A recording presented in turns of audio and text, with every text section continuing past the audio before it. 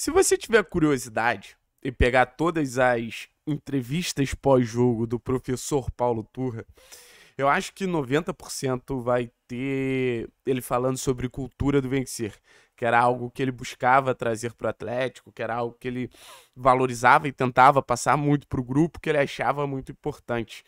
E eu acho que o Paulo Turra, nesse sentido, ele chega na final do Campeonato Paranaense muito satisfeito, porque eu acho que o grupo assimilou muito essa questão da cultura do vencer, né?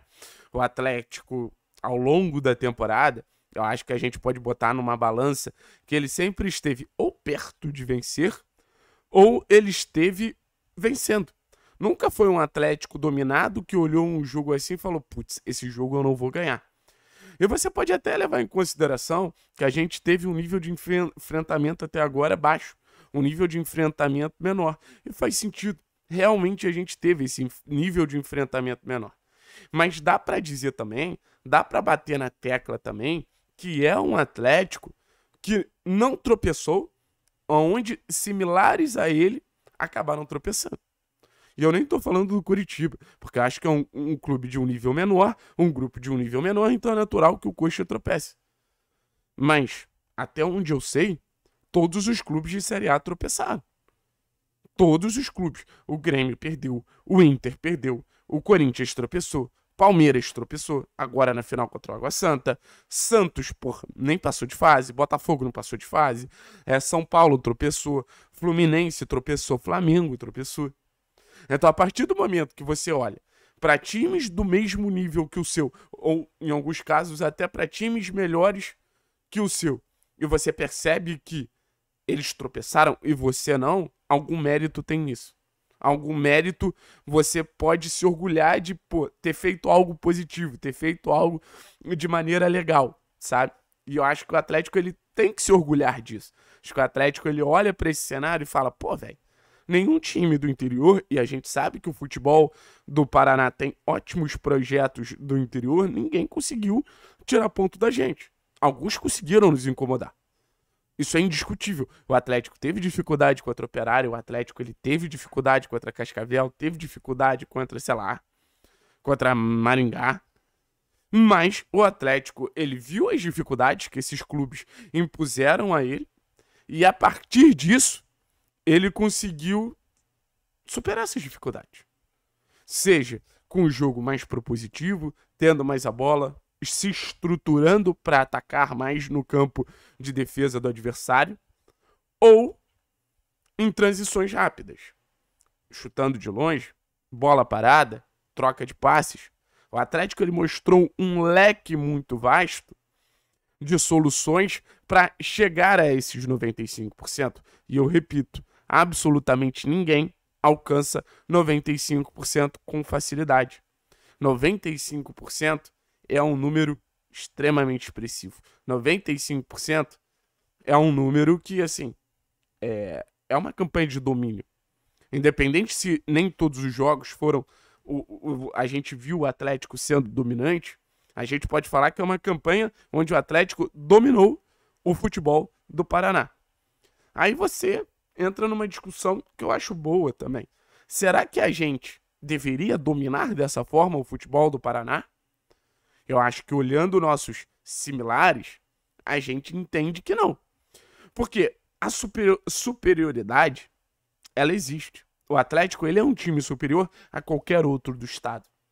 Mas isso não significa muita coisa no futebol atual. A superioridade só diz que no papel você tem um time melhor. E que você tem realmente mais chance de ganhar um jogo, beleza.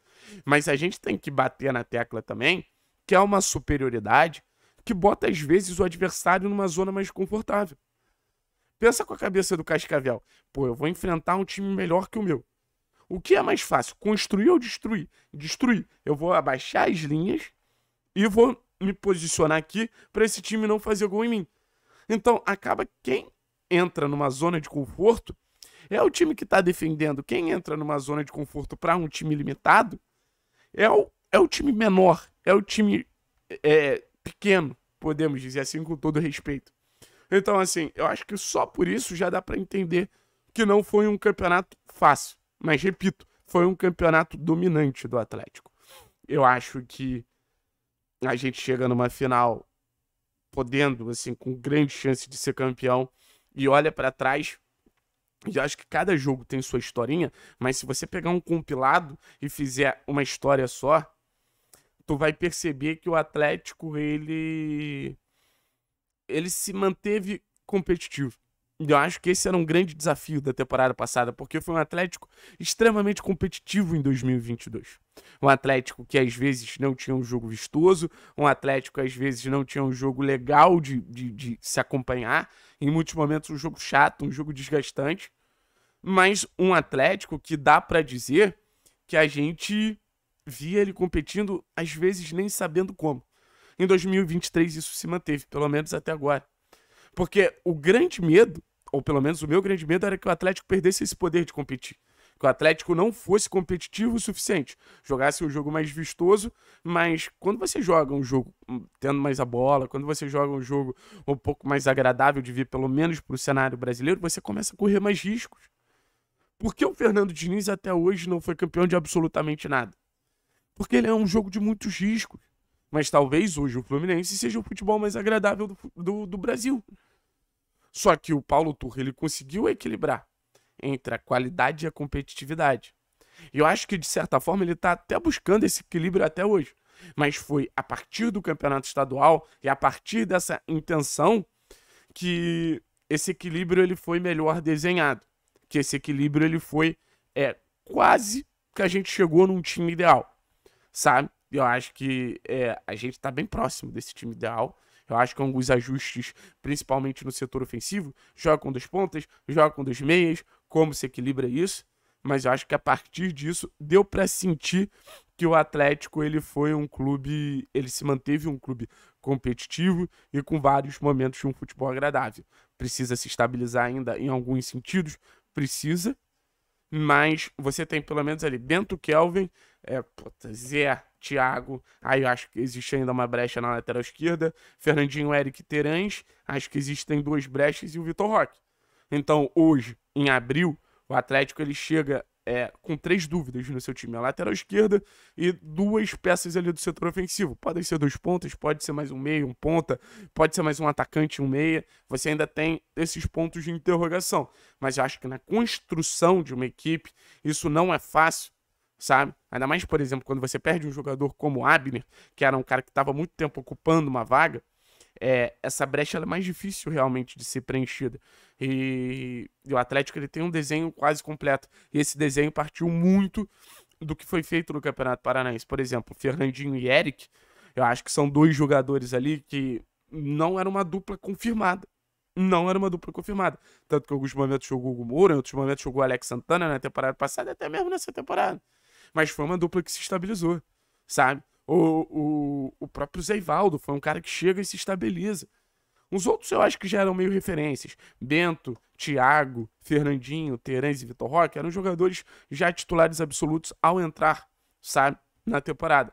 Mas a gente vê que essas peças que buscam acompanhar essas referências, algumas se estabilizaram, outras tiveram bons momentos. Canobi viveu um bom momento, Vitor Bueno viveu um bom momento, sabe? É, o próprio Fernando, acho que hoje está na frente, não sei, a questão da lateral esquerda, ela acaba sendo muito difícil porque os jogadores, ele, os dois entregam muito pouco, né?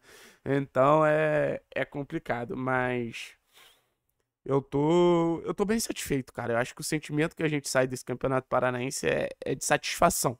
O clube entregou resultado, o clube em muitos momentos entregou desempenho, o clube viveu grandes histórias, como foi, por exemplo, a questão das mulheres e crianças indo aos jogos, né? Isso a gente ainda vai fazer um vídeo relembrando esses melhores momentos.